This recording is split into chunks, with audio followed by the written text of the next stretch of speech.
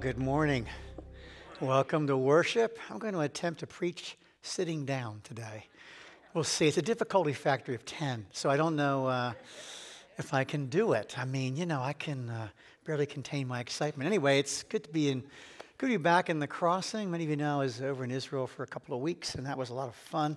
I'll share more about that in, in the message. But I'm so glad you're here today. It's great. You know, we, we see people coming back more and more, coming back into our live worship, and we're so happy to see you. And we're so thankful for those online. You know, we have uh, as many and more who are watching online than are in the building. It is amazing. So we, uh, and that's just in the day, in, in the Sunday. And after that, it grows exponentially. But we're really thankful for our online community, for those who are in the building. We're just very thankful for all of you. And we're in a series right now on vision. We were uh, looking at what to do during uh, the remainder of the summer. And George had a great idea. He said, You know, I think we should just refocus the church back on our vision. And we should take time to really break it down really explain to everyone, you know, what we're about, uh, where we're going, what God's doing among us. So we're going to be doing that for the next uh, four weeks. And then in, uh, in September, uh, we're going to begin a series called Holy Moses. How to become a friend of God. I've always wanted to do this. Series. Anyway, so I'll be doing the first three messages of that. But that's going to be a lot of fun, and we're going to look, look forward to that. But we're looking at this whole uh, issue of vision and what God's really called us to do. And today, I want to begin this message by asking you a question about where you are right now, because it's very important for our vision, very important for your spiritual growth, for your life. On a scale of 1 to 10, how would you rate your relationship with God right now? I mean, right now. Now, I don't want to ask that question. There's going to be like a wide variety of responses. You know, 10's the highest, 1's the lowest. And think about where you really are in, in your journey. Look, if you're like at a 10 or 11, I want to encourage you to keep going. But if you're at a place in your life where there was a time when you were higher on that scale, and you can look back and say, you know, back when I was hearing from God, I was consistent in my time with God. I was given, I was serving, I was really in a great spot. But I'm not there now. I want you to really listen to what I'm sharing with you because it's time to make some adjustments in your life. You want to begin to reclaim what God wants to do inside of you in terms of your relationship with Him. It is the key to everything. You know, uh, I was been really struck by this. I've been doing some studying on some other other matters, and, and I came across this idea that just struck me, and it fits so much the message today. You know, Jesus, when he taught his disciples and challenged them and challenged the crowd, he talked about this great commandment, this great commandment we have to live into. And in Matthew 22, he's responding to what is the greatest commandment. He talks about loving the Lord your God with all your heart, with all your soul, with all your mind. And it, this, this element of being fully committed is like a, a cornerstone of our faith. And if you know anything about the scripture, you realize it's not a new idea. You realize that this is what Moses taught when he quotes this, he's quoting from Deuteronomy chapter 6, and he's quoting from a prayer that's prayed twice a day. It's like he's, he's emphasizing something that's so significant to our journey. So maybe you know that already. You know this is the element of it. And we looked at it as we began to look at the vision for this church and what God's called us into and our walk with God. We began to pray about what God wanted us to be as a church. We knew we had a camp right here. We said, what does Jesus say we should be? That joining a church shouldn't be simply about joining an organization. It should be about a walk with God. That the most important thing to say, I want to be a part of people who wants to love God with all of my being. That's what I really want. That's what I long for. So that's really where we began, you know, our mission statement, like found in Matthew chapter 22. And You know, we talk about igniting hearts, changing lives, impacting the world, how we summarize it. But the full statement is to raise up children, youth, and adults who will love God with their whole being. There it is. Who will love God with their whole being, whose lives and relationships will reflect Christ's character and are empowered by the Holy Spirit to change the world. That is our mission. And the first part of it is what we see here in Matthew 22. Now, so in my study, as I'm looking at this, I'm pressing more into the meaning of this. And I came across an insight I got to pass along with you. It's not in the verses you're going to find on the screen, but if you were to page back through Deuteronomy and you were to see Moses giving these instructions, you discover these instructions are given as they're camped on the other side of the Jordan. They're about to enter the promised land. It'll be a, few, a little bit of time, but they're about to enter it when Moses is gone, and they're about to enter into that promise. And he states these commands that this has to be your priority to love the Lord your God with all your heart, soul, mind. Of course, someone's at strength, right? To love God with the whole being. What you may not know is how significant this is in every stage of the scripture and every stage of God's people's lives. These are people who came out of Egypt and they had learned to uh, depend upon the River Nile for their lives, for the water they need, the irrigation for their crops. But now they're about to embark into a new land. And if you know anything about the land of Israel, and having spent some time there uh, recently, I can tell you it was 104 degrees where I was, 104. And when you're in that, in that area, you can see how desolate it can be. I remember driving through Jericho one night at 5 o'clock, it was 109 at 5 o'clock at night. And you can see just how difficult the terrain is. And if you know anything about, the, about Israel, you realize you have the Jordan River. It's a very small river, comes out of Mount Hermon, and then uh, headwaters are at Caesarea Philippi, and then flows down to the Sea of Galilee, and then, then eventually down the Jordan River goes again, and it goes to the Dead Sea. And that water is a key part of water supply in Israel, even to this day, even though they have other means now that they're using uh, for water. But this is a key, a key element. And in the ancient world, there was no way to take the water out of the Sea of Galilee or the Jordan River and begin to, to irrigate other parts of the, of the country. It's not going to happen. In fact, the Jordan River, the Sea of Galilee sits below sea level. It's, it's a challenge, right? So that's not going to happen. And that meant this they had to now depend upon the rain, that God would send rain to nurture them. And God promised if you put me first in your life, if you put me first, I will cause blessing to rain down upon you. When the promise was said that he is sending them into a land of milk and honey, you ever wonder what that means? It means that your livestock will flourish. That's the milk. And of course, your crops will flourish. That's the honey. I will bless you.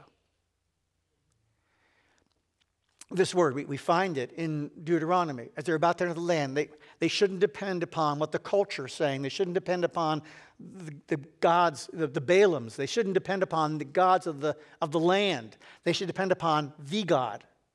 They should depend upon God alone.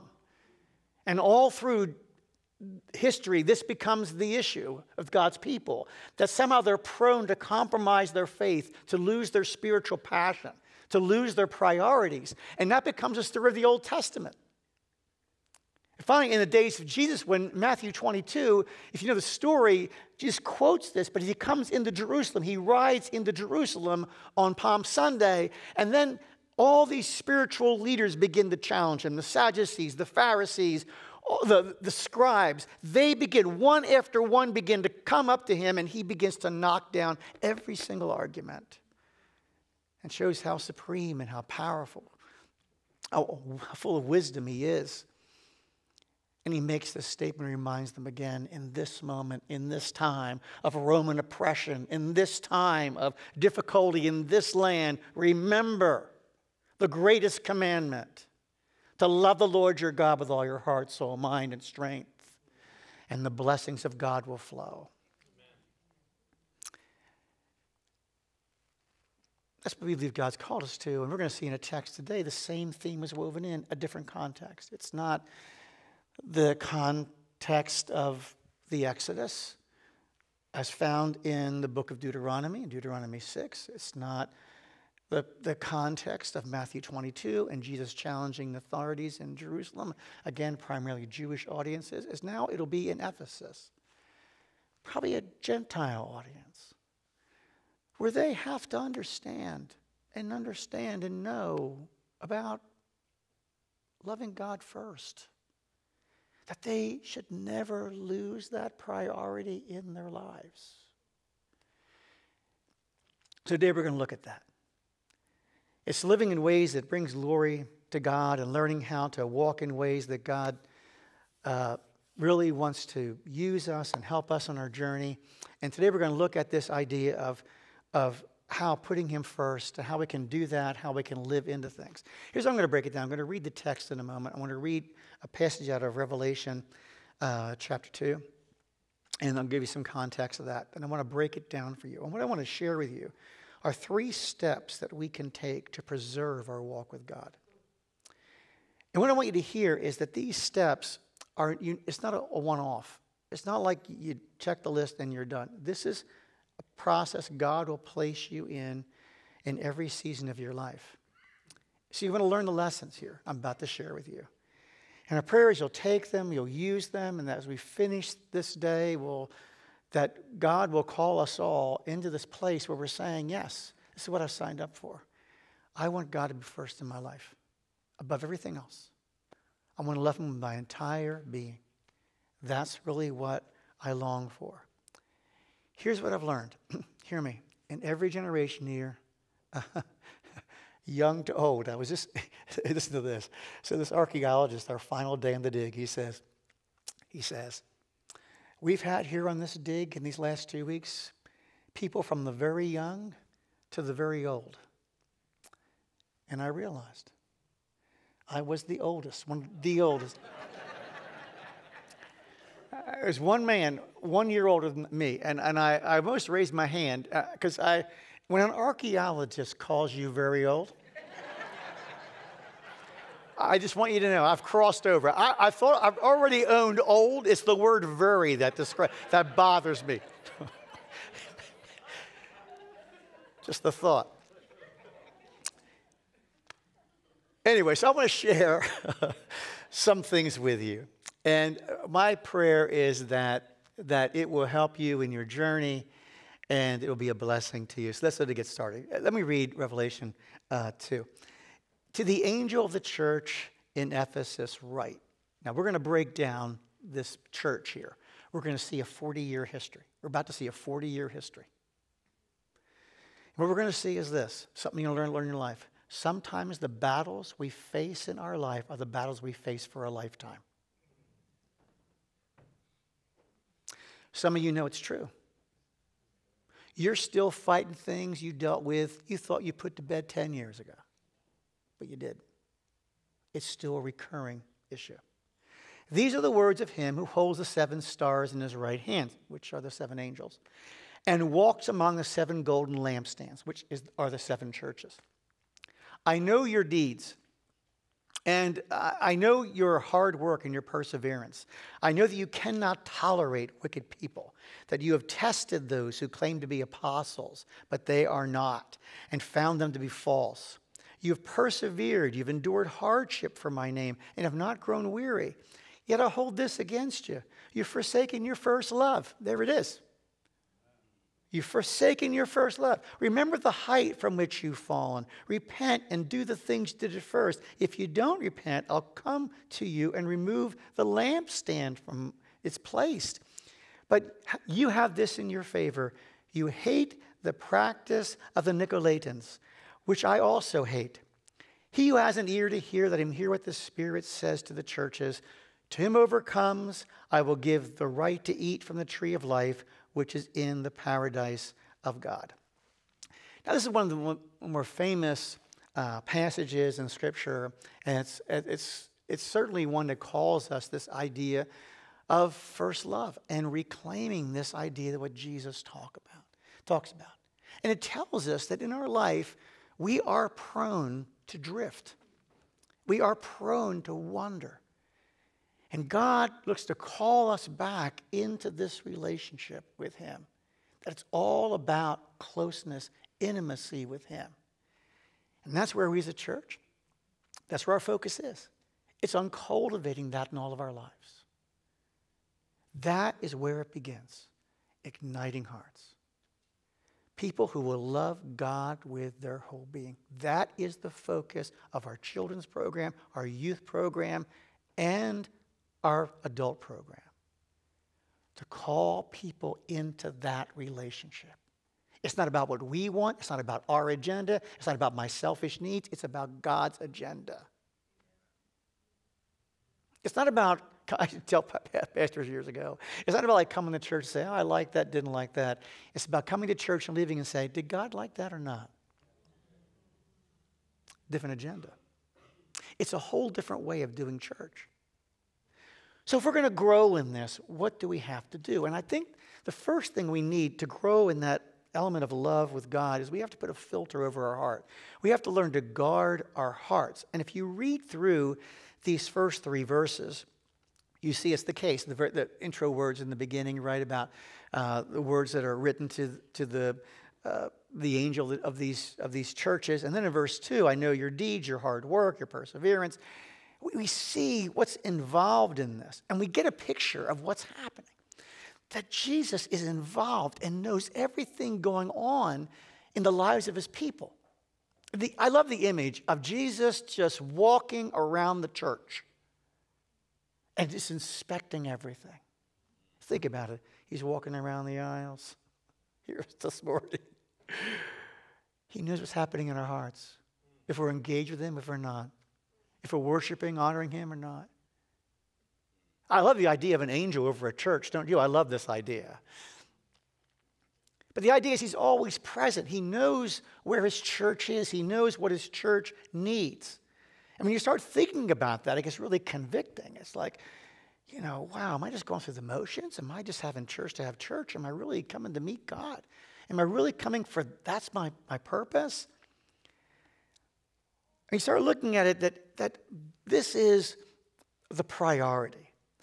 And when Jesus looks, he sees things he likes. He goes to the, the, Ephesian church, and, and it's been a church of history. Maybe you've, if you've been a student of the Bible, you know the church at Ephesus is like, hey, it's a famous church. But it wasn't perfect.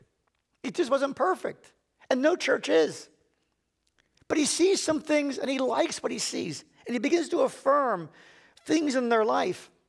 And he sees something, he sees something about them a willingness to address issues that aren't right. Uh, a willingness to, to deal with the heart of some of their problems, to really put a filter over what is influencing them and, and what is uh, informing how they believe and what they believe. Now, if you were to go back, this book is written, let's say, in the 90s, Revelation. John, the apostle, the, the final living apostles, writing this. So it's in the 90s. If we go to back when, when Paul was at Ephesus, we go back almost, we go back 40 years, a little over 40 years. And we find the story told in Acts chapter 19 of how this revival breaks out in Ephesus. And how Paul entered the synagogue, spoke boldly there for three months, arguing persuasively for the kingdom of God. It's not on the screen, by the way, but I'll read it to you. But some of them became obstinate and obstinate, and they refused to, to believe and they publicly maligned the way. So Paul left them and he took the disciples with him and had daily discussions in the lecture hall of Tyrannus, which they've not, they've not found this. It could be an actual lecture hall, or it could be a, a part of a, a villa, one of these Roman villas that are sort of built in Ephesus. We're not quite sure exactly. But more than likely, it's a lecture hall, not part of a home. This went on for two years, so that all the Jews and the Greeks who lived in the province of Asia heard the word. Now, the, word, the church begins to explode. It happens, the church in Colossae that uh, begins is formed. I mean, all the Hierapolis, all these churches are formed out of this tremendous two year, two and a half year revival that happens in Ephesus. And it says that God did extraordinary miracles through Paul. so that even handkerchiefs and aprons that touched him were taken to the sick, and their illnesses were cured, and evil spirits left them. I mean, it was an amazing move of God. But there was a problem. Sometimes, you know, we look at moves of God and they become like a, a like, like icing on a cake. It's sort of like it just covers up everything underneath. Like if the cake's not right, the cake's not right. You could put icing on it, but you know, it's still not right. And so you got to look, something has to change. So what happens is this, this story unfolds. I'm going to read it to you. Some Jews who went around driving out evil spirits tried to invoke the name of the Lord Jesus over those who were demon possessed. And they would say, In the name of Jesus, whom Paul preaches, I command you, come out. Seven sons of Sceva, a Jewish chief priest, was doing this. And one day, evil spirit answered them, Jesus I know, and Paul I know, but who are you? then the man who had the evil spirit jumped on them and overpowered them. He gave them such a beating, they ran out the house naked and bleeding. And when this became known to the Jews and the Greeks living in the city, they were seized with a spirit of fear. And the name of the Lord Jesus was held in high honor. Now, here's the phrase I want you to hear Many of those who believed, who believed, now here's the idea are they new to belief? Probably not. These are existing believers who had stepped into renewal and revival, who had split loyalties in what they believed. Many of those who believed now came and openly confessed what they had done. A number of them who had practiced sorcery brought their scrolls together and burned them publicly. And if you study Ephesus, you realize there was a blend of folk religion. These people kept their household gods. You can find household gods, these magical incantations. And, it, and so they kept all these things. And it was, it was famous for these magical incantations and the worship of Artemis, which was a, a key uh, uh, shrine in the city. People traveled all over the world to come to this um, magnificent uh, facility. It was known for these magical incantations, and here were Christians saying, I follow Jesus, but I'm still doing the magic on the side. And finally, they're going, This has got to go. They learned to put the filter on. They learned how to screen it out. And 40 years later, John is quoting Jesus saying, You did a good job. I mean, you're doing a good job. You've grown in so many areas of your life, and this is really one of them. You, have really done that. And what they learned early on was this is that learning to grow is not just about condemning what's wrong. It's learning how to build on what's right. And when you go in your life, you begin to build on what's right. So here at this church, we believe this. We believe in the power of the Holy Spirit. You hear us talk about signs and wonders, miracles, God does miracles. But we believe in the power of the Word. We believe the blending of those two things together are extremely powerful. And of course, in our Methodist tradition, we have believe in the power of tradition as well, not on the same level as Scripture, obviously. But it can, we can learn from the past. What we learn, though, are some characteristics about what it means to live in this, to filter out our life. And I want you to Put it on your radar screen to understand how we, how we grow. We learn this passage, it requires hard work, perseverance, and a discerning spirit. That's how we grow. That's how this filter works in our life. Hard work is that first word, right? We, we see uh, we see there.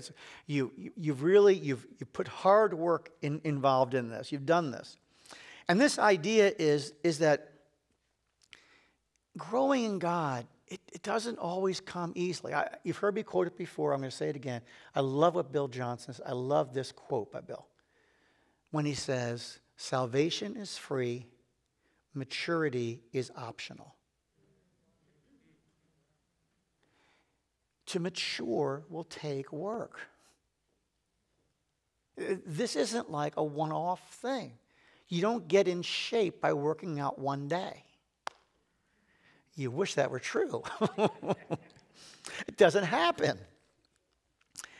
And so our life, we have to put work, and that means to be in a state of discomfort. I was sure that got back. I was sharing with John here. I mean, I have calluses on my hand. I swung a pickaxe for two straight weeks. I did. I, I dug in this in this rectangle in this uh, square. it was like a rect. I was done as a rectangle, it was, but it was a square, four meter by four meter square, and it was it was just ground level when I started. And we dug in 104 degree heat. And I, and I, um, I blisters and blisters upon blisters, and now they're calluses. Hard work. You know, you, you end up in that place. It means being in a state of discomfort. You're in that place. What I love about this is that what they're saying is they didn't run away from their problems. And let me pass this on to you.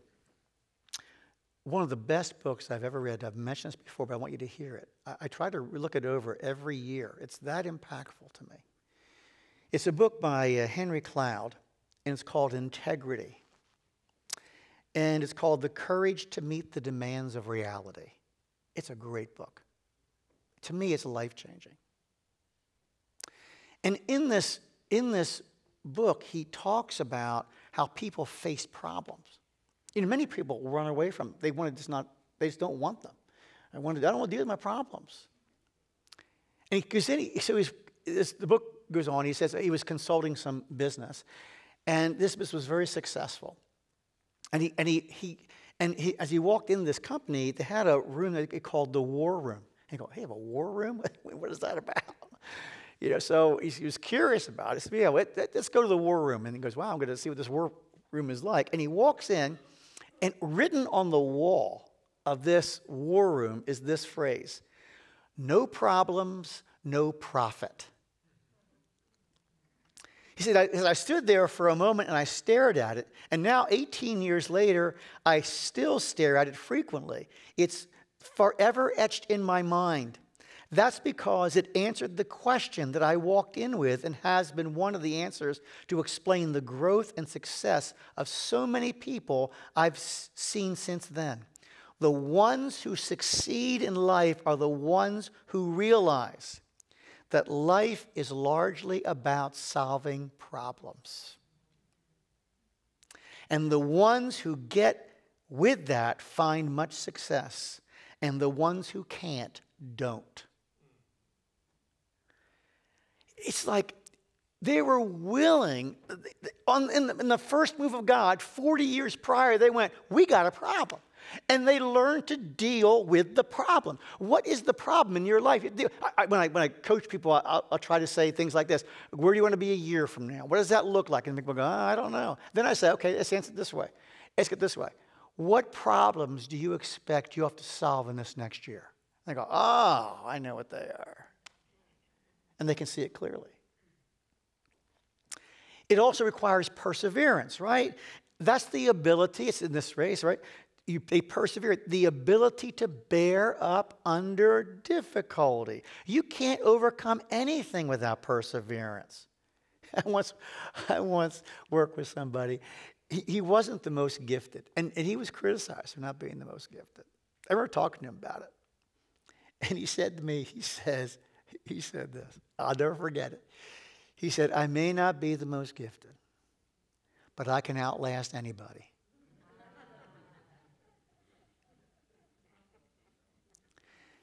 Sometimes that ability to stay with it is so key. And finally, it's discernment. You begin to look at things, that's not right, doesn't hit me right. In my uh, final day, I had the, the uh, honor in Jerusalem. I, I was walking by in the hotel, came back, and there was this guy and uh, was one professor was sitting there I knew from the trip and dig and, and uh, said, Sit down here. And so I sit down. There's a guy named, maybe you know him, I didn't know him. His name was Lenny Wolfe. Says, I want you to meet him. I said, Okay. Well, it turns out, who I guess he did his, uh, I think it was a PhD at Hebrew University. And here he specializes in antiquities. And he learns how to pick out forgeries in antiquities. And he had just testified in a famous case in Israel about how these forgeries were being brought. And he identified the letter Beit and how it was formed improperly for the time period it was supposed to have been in. And he testified that this, I mean, it's interesting. She was on PBS for the Dead Sea Scrolls. It was an interesting thing, like talking to this guy. He, he, you learn to discern what's right. You go, that, that's not, that doesn't sit in my spirit right. I mean, you learn. And they were learning all this. And part of growing in your life is learning how to watch over your life. This is what Paul tells them on his final, when he finally talks to the elders as, he, as, as he's on his way um, to Jerusalem and eventually be arrested there. And he meets in Miletus with the elders and he tells them, Watch over your life. I'm telling you, listen to me, listen to me, listen, listen, listen. The biggest challenge of leadership in your life is self leadership.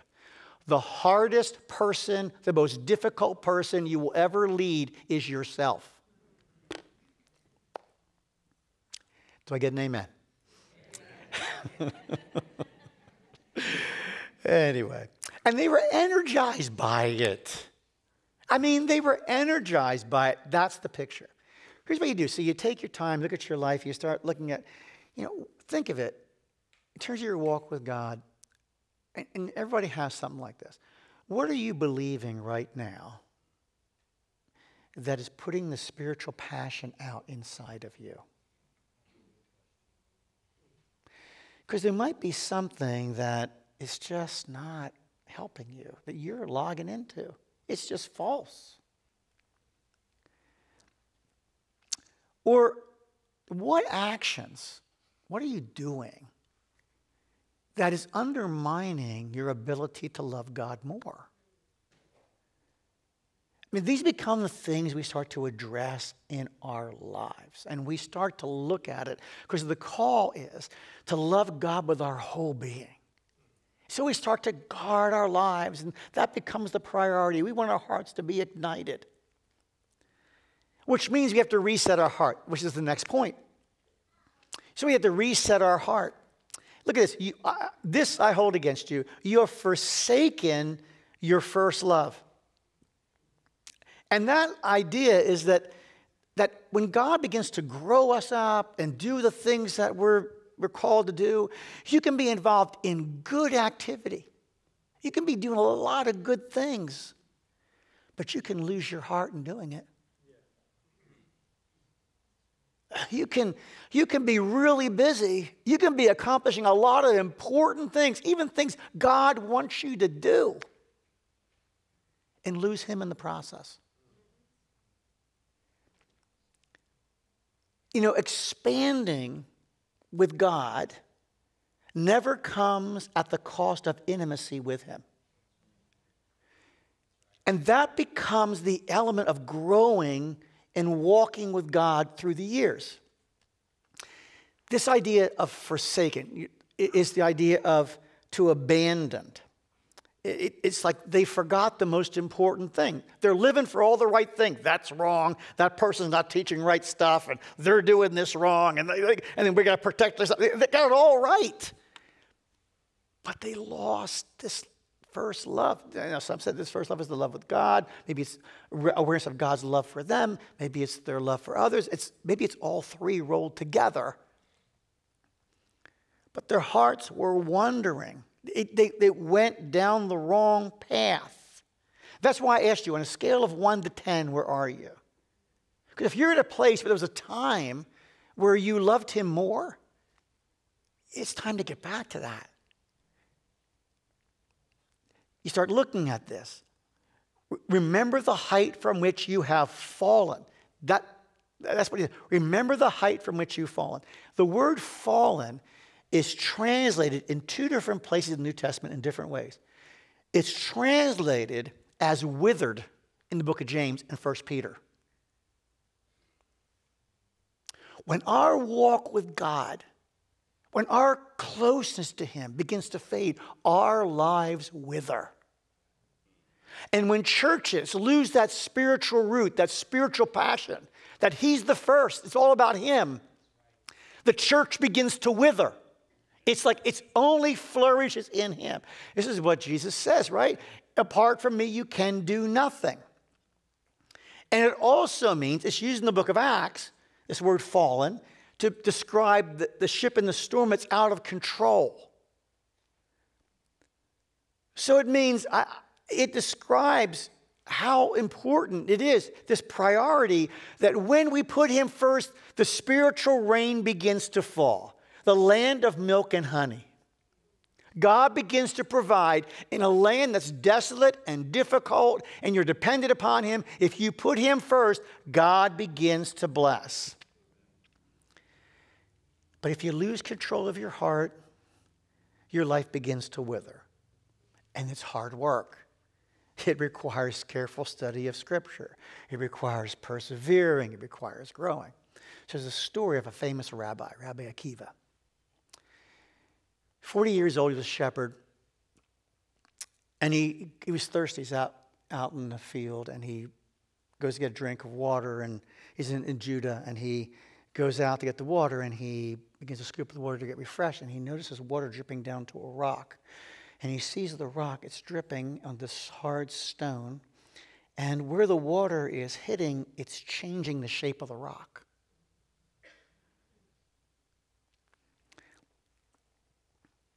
He begins to look at his life. He's been challenged by someone he's fallen in love with to be a student of Torah, to study the Word.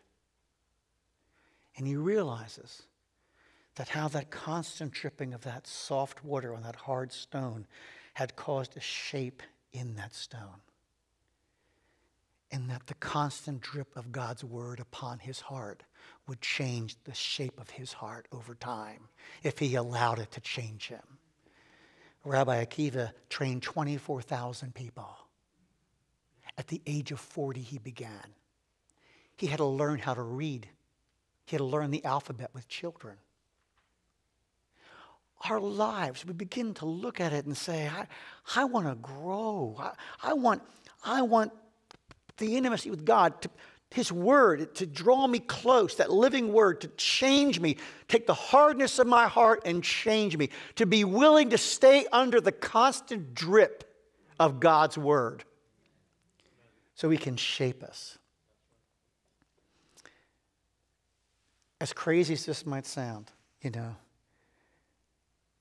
effectiveness, effectiveness, effective activity doesn't always indicate intimacy with God.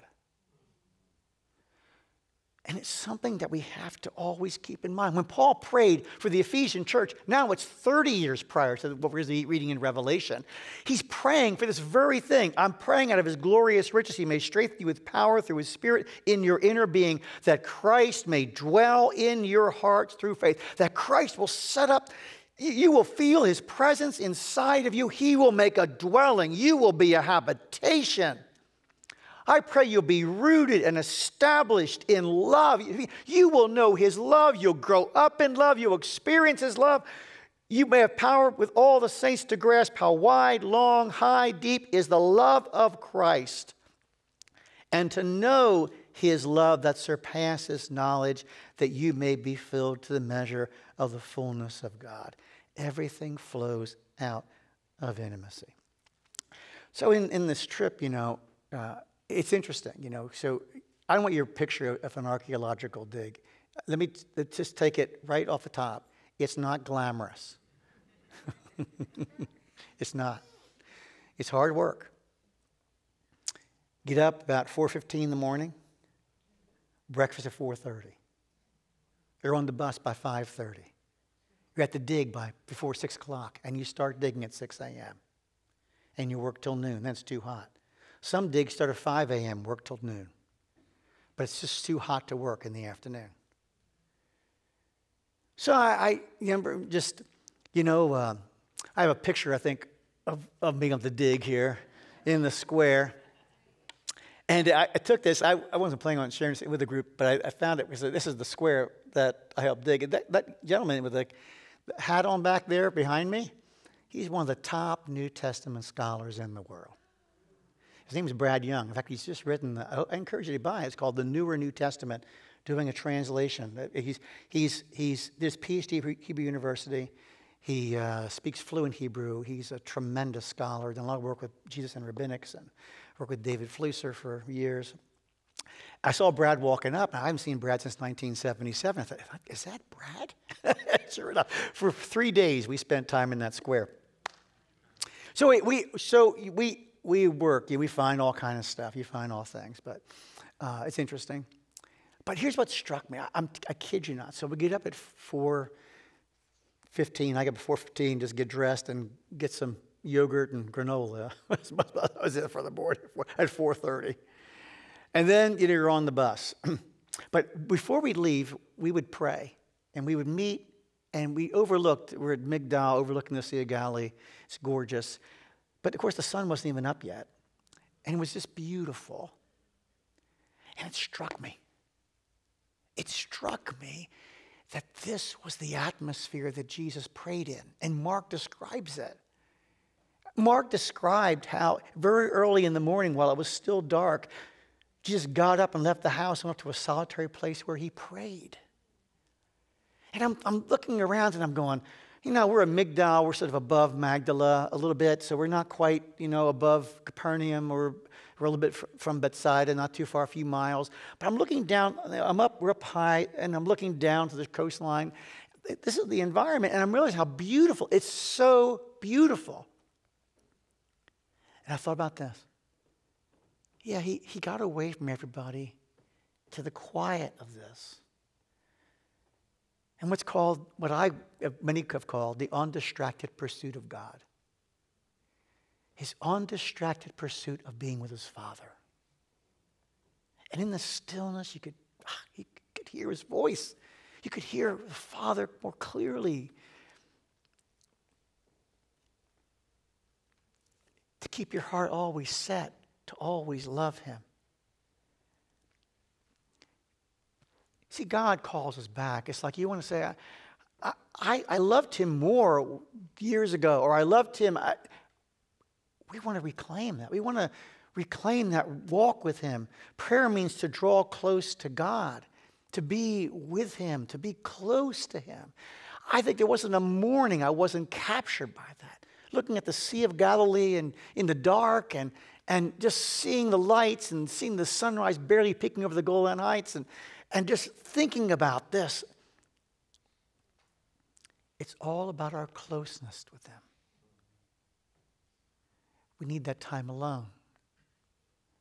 You and Him. God began to move here, people would say, I can't believe it. My prayer time is so meaningful. I don't, I can't, I can't believe it. I sense this presence. I, I read the Bible and it's so alive. I, I don't know what's going on. It's, it's God. It's the rain. It's the if you love me, I'll come to you. If you come, if you come to me and seek with all your heart, you'll find me. People are finding God, and this is the cornerstone. Out of this, our lives sustain. And finally, the final point is we redirect our heart.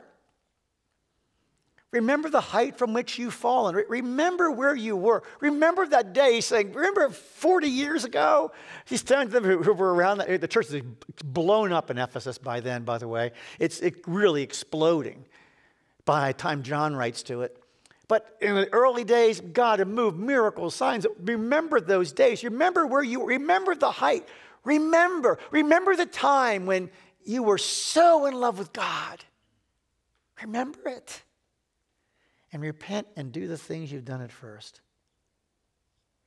Don't let it slip away. One of the saddest, I was a young man, I was, I was 16, and I was so in love with Jesus. I'll never forget, I was in this church and I was sharing my faith. We were going around playing guitar and testifying. It was wild. and this old man, who I probably, I guess this old man is now as old as I am right now came up to me. I'll never, ever, ever forget it. He looked at me and he said, crying, I remember when I was like you. But I'm not that anymore.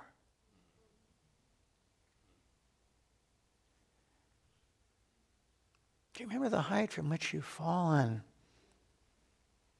You know, it's it's, it's living the way God wants us to live. Sometimes you have to re, you have to rediscover your past to reclaim your future. You begin to walk in that place that God has for you. Do the things you did at first.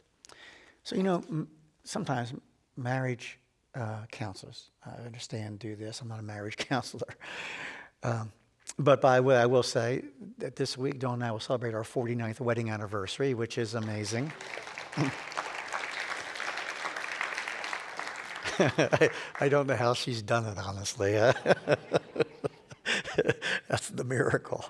Um, but you know, what they say is so couples will come and they'll say, uh, I don't love him anymore. I don't love her anymore. Uh, so they get saying, okay, uh, tell me, why'd you fall, why'd you marry them anyway? What, what did you, what did you love about them? And they say, oh, I love this. They were fun. They, were, they listened. They, all, they begin to share. then the counselor will say, why don't you go back and do the things you did when you first got married? Why don't you go back and do the things you did when you first got married? And what you learn is this actions, emotions follow actions. And we believe that actions follow emotions.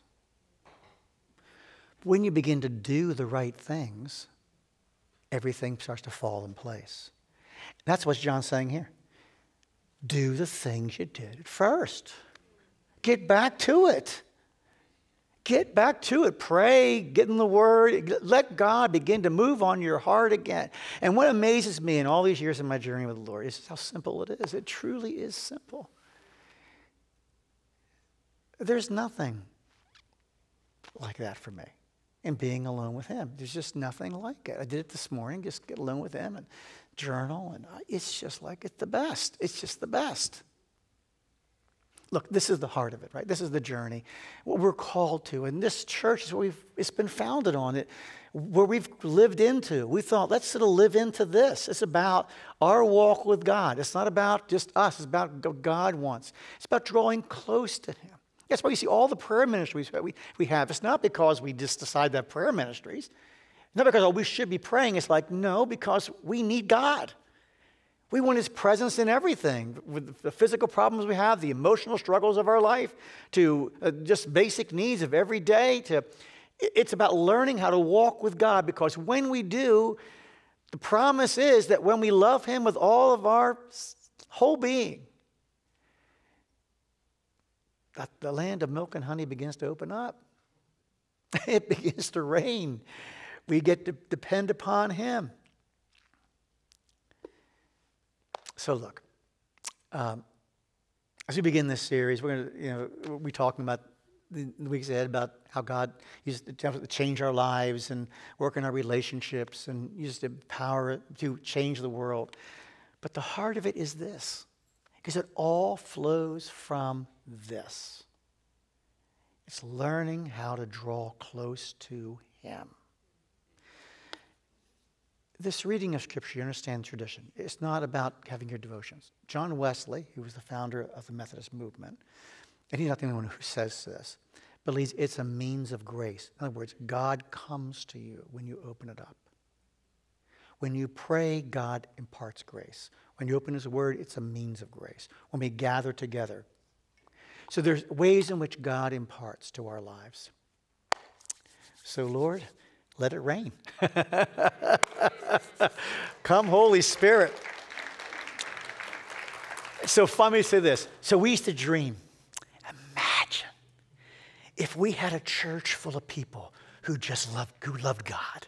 Who they're not perfect, right? No one's perfect, but that's their heart desire to draw close closer. Imagine if we had just 10 people. Imagine if we had 20 people or 30 people who wanted that. Imagine. You know what happened? There'd be revival. Amazing revival. And lives would be changed, and people would be touched, and the world would be impacted because the heart of it all flows from this. Let's pray. So, Lord, we just thank you for your love and for your mercy, and that you just come to us in so many wonderful ways. We thank you for your promise over your word. We pray, Lord, that thank you for blessing the good things in our life that we've established. But Lord, draw us close. We pray that this would be our best season, that this would be our, our closest time with you ever. That it will get better and better. We'll grow closer and closer to you. And from this, our lives will become more and more fruitful. And we pray all of this in Jesus' name. Amen. Amen.